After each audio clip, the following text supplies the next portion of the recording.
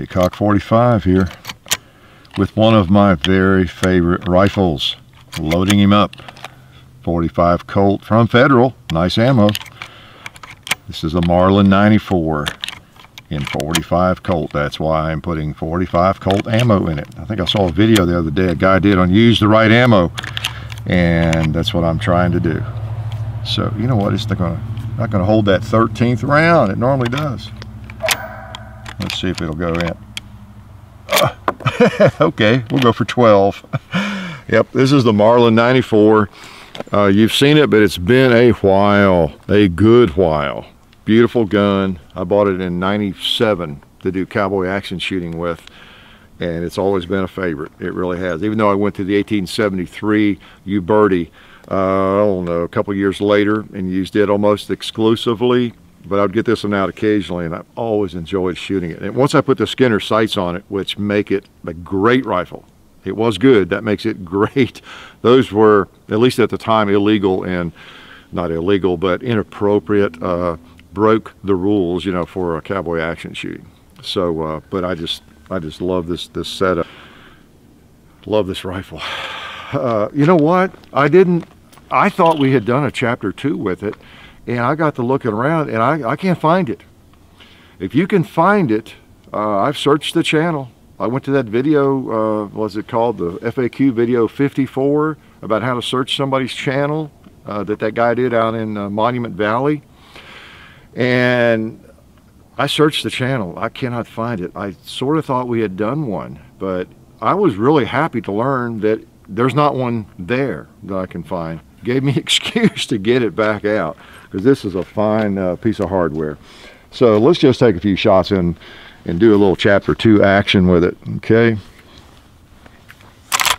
Rack one in and let it fly.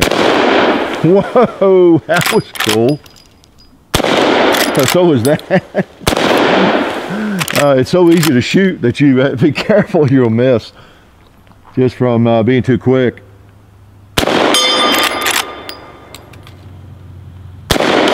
See what I mean? Get a pig. Boom. How about a turkey? How about the little plate over there? No, let's go for a chicken. Oh, go for another chicken up there. What did I tell you? The little plate. Yeah, you just can't miss with it. What about a, uh, not a buffalo, what's it called? A ram. I'm gonna put, pop him high if I can. Yeah, I'll pop the other one high. Oop, no ammo. oh yeah, this thing is so sweet. It, uh, it almost takes the fun out of shooting. John and I were talking about that before the video because it's just easy to shoot well. And as usual, I'll preach to you about these pistol caliber carbines. If you've not tried them in lever guns or semi-autos or whatever, they're a blast. And you know, this, this chunk's a pretty good piece of lead too, uh, 250 grain or 300 if you want. You can load rounds up for this. You can buy the, uh, like the, what, Garrett's or the I don't know, double tap. There's some specialty companies that I've talked about before that load really hot ammo, too hot for most handguns and 45 Colt and that kind of thing. But the Marlin rifles will handle those and you can load your own up pretty stiff. And even Federal loads something. I think they've got one load that's that's stiffer than these, but but the Marlin's great for that. You can make it a. Uh, I load a 300 grain uh, cast, hard cast bullet makes it kind of a poor man's 4570 just as a reminder so you've seen this out in some of the lever gun videos we've just not done an official chapter two and it's fun to do a chapter two here of course because of all this uh, this target rich environment but what we thought we'd do maybe is just finish the chapter two by going over to the uh, traditional chapter two range okay so got my ears I got my ears and uh, get some ammo in my pocket and uh, we'll just go over there and see what we can find on the other range to shoot at. You want to come along with me, you're welcome.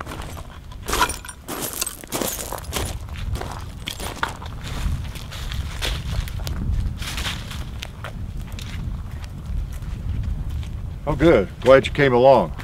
So we're over here where we have some uh, different targets and I don't think we've shot this over here. We'll see. good sights and I think I have a pretty good idea where to hold. So why don't we just uh, have at it. Good old Marlin 94, uh, 45 Colt.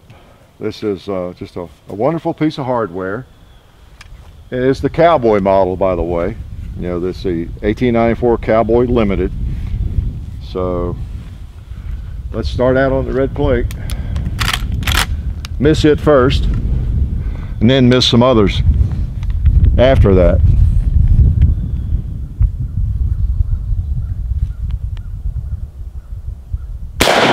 Oh.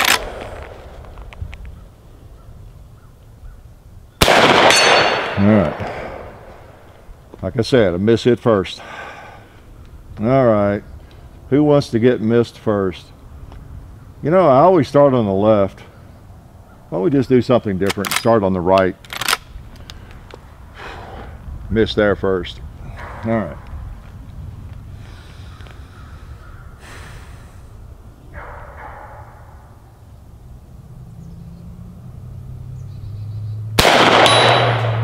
All right.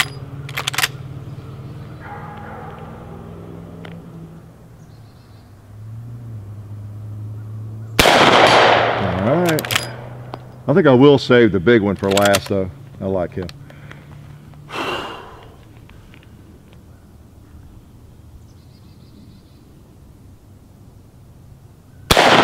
Ooh, oh, thought I missed him.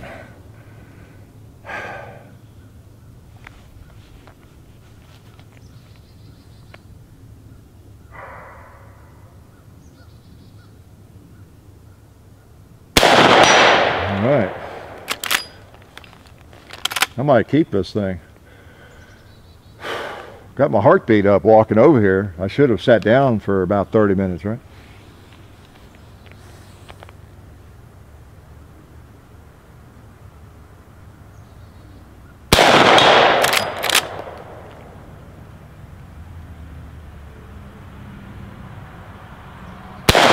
Oh, I just had to miss him.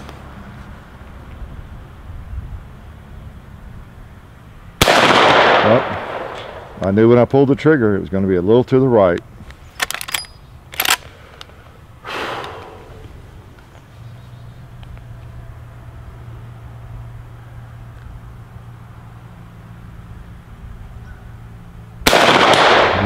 I knew that was right on too. Well, let's try the big one. Tall one. Same uh, width, just taller.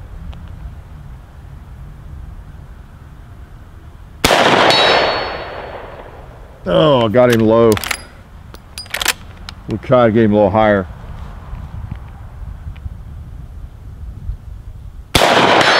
There we go. On the last round.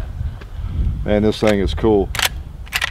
Uh, you know, uh, speaking of uh, getting your heart rate up and everything, I'll give you another little tip. No charge for this one. I generally don't charge for these little asides. Even though now it is better if you're not you know having just exercise and you're trying to hold a sight steady of course but it still comes down to the fact that nobody can hold a sight perfectly still uh, no matter whether you've been sitting around or you've been running and nobody can hold one perfectly still. So it is a matter of coordinating the the squeeze the pull of the trigger when the sights are on target and you're trying to get the trigger break just at the right instant either way whether you're shaking around a lot or you're just moving around a little bit, it, it's still not like just because you're uh, relaxed it's, it's locked in. It's fun shooting a firearm that you really like and the sights are right on and uh, you tend to hit most of the time with it. It's, uh, I guess it's it's all our goal, right, with whatever firearms we have to get the sights on and be able to hit with them. How many have I put in this thing? This assault rifle. That's enough. okay. Well, there's a two liter hiding down there on that hill. Start with him.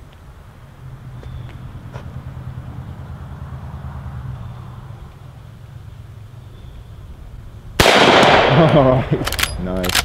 Little cinder activity over there left.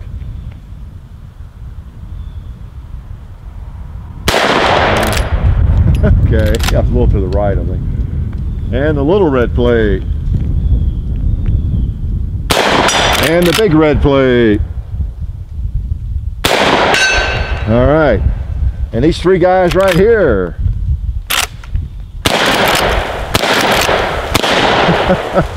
and the red plate again. And the gong over there. End on a gong. And we've got a couple rounds left. Uh, well, let's just shoot them. What the heck? you know, it is a cowboy assault rifle, isn't it? Oh, man. Uh, would you all mind if I did a video every week with this rifle? Think you could stand it? You know, there are just some firearms uh, you have a special fondness for. And uh, I'm fortunate that I have several that fall into that category, really. And because of that, some of them get a little bit neglected until I get my hands on them and am reminded all over again. And I, I took this thing out not long ago, just on a hike around the, the place and did some plinking and was reminded that wow what a what a wonderful rifle and uh, it was great for cowboy action shooting in fact this was a very popular model when I was doing it uh, in in that that game it really was and probably still is uh, you know pretty uh, common be my guess so the uh, cowboy limited little chapter 2 action and uh, like I said earlier it's almost it's not boring but it's just so easy to shoot well. It really is. It's just a marvelous rifle. And I don't even have to say it, but life is good. We'd like to thank one of our sponsors, SDI, the Sonoran Desert Institute. SDI has fully accredited distance learning programs where you can get certified in gunsmithing or even an associate's degree in firearms technology. Of course, the study includes hands-on experience, which is important, of course, so check it out. Uh, go to sdi.edu or just click on the link in the description. Okay. And also we'd like to remind you to check out the Hickok 45 Facebook page and the Hickok 45 and Son channel and its Facebook page as well as Gun Culture Radio on iTunes. Now remember all this because I'm coming to your house randomly over the next year or two to give you a quiz on it. Okay? Thank you.